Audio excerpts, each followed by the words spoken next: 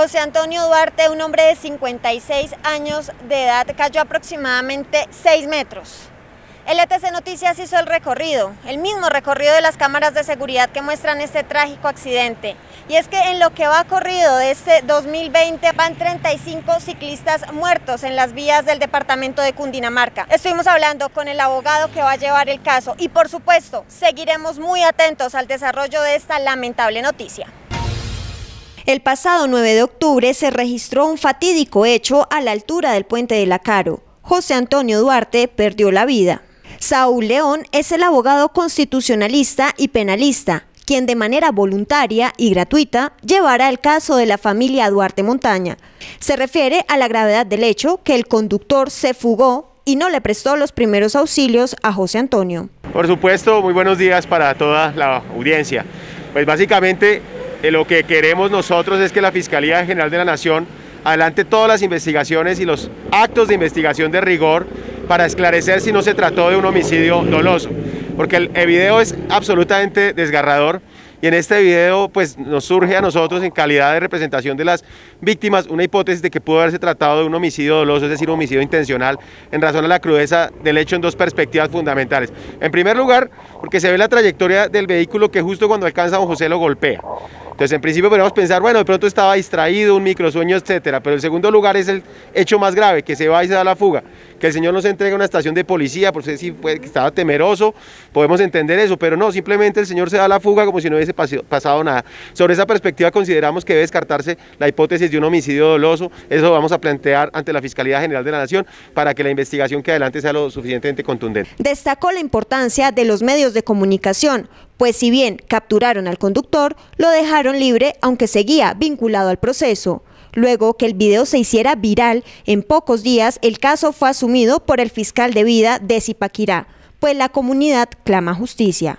Por supuesto, es que acá pues eh, debo destacar la labor de ustedes como medio de comunicación, por supuesto también de los medios de comunicación de orden nacional que nos han apoyado y que ustedes le han dado un alcance, digamos, a esto para que la comunidad, digamos, eh, la sociedad del país, pues se solidarice, como en efecto lo ha hecho, exija su justicia y por supuesto la Fiscalía actúe prontamente. Debo decir que como lo estaba señalando, pues hasta el día viernes no había ninguna noticia, el día sábado tampoco, apenas el día de ayer ya la Fiscalía General de la Nación anunció que está consolidando todos los elementos materiales probatorios y evidencia física para llevar audiencia de imputación a este sujeto, lo cual dice que el trabajo de los medios de comunicación que ustedes han hecho sobre este caso ha sido absolutamente contundente. Este caso fue asumido a honorem y seguirán con la investigación correspondiente que esclarezca los hechos del pasado 9 de octubre.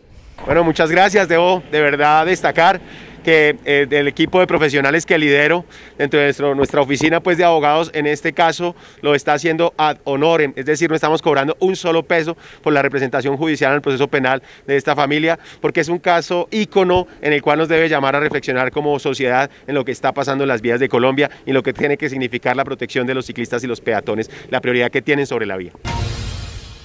El primer mandatario del municipio se refiere a esta noticia dice que lamenta profundamente lo sucedido y espera que la justicia opere de manera oportuna. Sí, realmente desde que nos enteramos del hecho el mismo viernes, eh, dispusimos de todas las medidas de la articulación con policía de tránsito, de carreteras, por supuesto de la Policía Nacional con la Secretaría de Gobierno. En la tarde eh, hicimos un consejo de gobierno donde hablábamos de que era necesario ubicar a este responsable de este acontecimiento que de verdad causa repudio. Eh, vimos todos un video muy lamentable, muy doloroso. Estos hechos no pueden presentarse ni en Chile ni en ningún lugar del país ni del mundo. Toda la vida hemos pensado que la actividad física debe tener y debe contar con el respaldo de la seguridad vial y esa debe ser la tarea.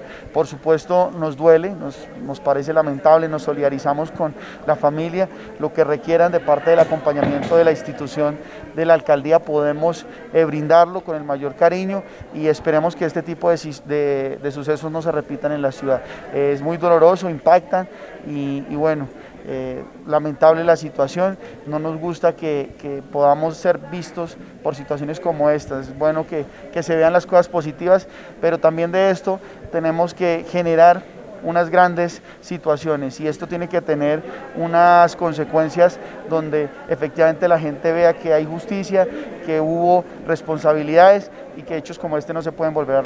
Y es que las cifras son aterradoras, pues en lo que va corrido del año, 35 ciclistas han muerto en las vías de Cundinamarca. Se le consultó al alcalde por campañas pedagógicas para todos los actores viales. Creo que es un tema que viene de moda bastante, que está creciendo mucho, el tema de la práctica del ciclismo. Tenemos que articularnos todas las instituciones, determinar esas vías que son corredores eh, de, de biciusuarios, de ciclistas y empezar a generar una política desde la infraestructura, desde el cuidado, desde la protección, desde la prevención, articular con cada una de las entidades precisamente que estábamos ahorita en gestión del riesgo y empezar a determinar un plan de acción claro frente a que este tipo de situaciones con nuestros ciclistas no se presente más, ni uno más. No queremos más muertes violentas en el departamento de Cundinamarca.